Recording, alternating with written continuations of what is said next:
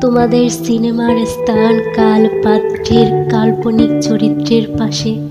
আমাদের কাহিনীটা বাস্তব। বাস্তব আমাদের চরিত্র। বাস্তব আমাদের কাহিনী। বাস্তব আমাদের সিনেমার সমস্ত কলাকুশলী পিতা, মাতা, ভাই, বোন। বাস্তব আমাদের স্বপ্ন। আকাশ ছোঁয়া না হলেও অন্তত দুবেলা, দুমুঠো সাদা ভাতে আর একটু মোটা দানার নুনে। একবেলা পেট ভরে অন্য বেলা আধ পেটে।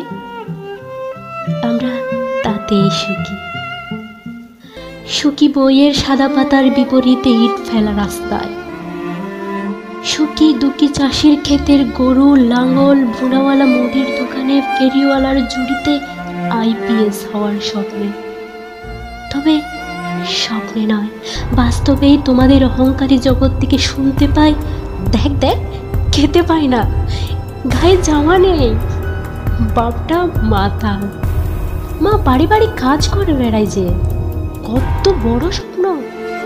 আইপিএস হবে, বামন হয়ে চাঁদ ছুবে কিন্তু আমরা তো বাস্তব সিনেমার কোনো কাল্পনিক চরিত্র নয় যে মেকআপে রঙিন পর্দার আড়ালে অভিনয় করে যেতে হবে।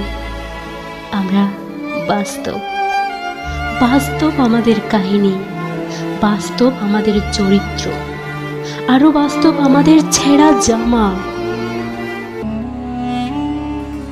সিনেমার কাহিনী, যেখানে আমরা বন্ধুর বই ধার করি, নোট নেই, আর সময় মতো ফেরত দিতে না পারলে কুকথায় বেটে ভাত হজম হয় না।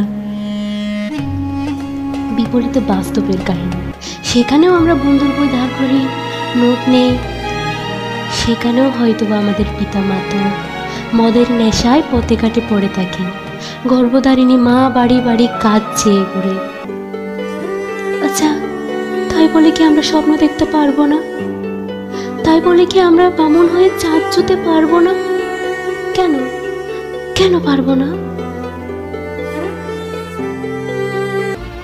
তারপর একদিন বছর পাঁচেক পরে যখন স্বপ্নে নয় বাস্তবেই সেই বামন টিভি সাংবাদিকের সামনে।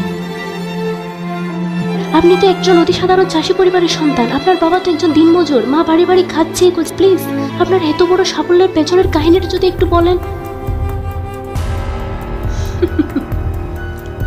যেটা কোনো কাল্পনিক জগৎ থেকে নয়, এক রুড বাস্তব জগৎ থেকেই উঠে এসেছে। সত্যিই আমরা বাস্তব। বাস্তব আমাদের পিতা, মাতা, ভাই, বোন, বাস্তব আমাদের সংগ্রাম। হ্যাঁ সত্যিই আমরা বাস্তব। আর বাস্তব থেকে উঠে আসি বলেই আমরা একসময় সব অপমানের কথা ভুলে যাই। বলে যায় গরিব বলে বন্ধুর দামি গাড়ি থেকে নামিয়ে দেওয়ার কথা। বলে যায় ধাক্কা মেরে মাটিতে ফেলে দেওয়ার কথা। আমরা বাস্তব। আর বাস্তব বলেই একসময় সব দুঃখ, কষ্ট ভুলে গিয়ে আবার আপন করে নেয় আপন করাটাই যে আমাদের ধর্ম, আর ধর্মই যে আমাদের কর্ম। আর এই কর্মই হলো আমাদের সংগ্রাম। হ্যাঁ বাস্তববাদীর সংগ্রাম।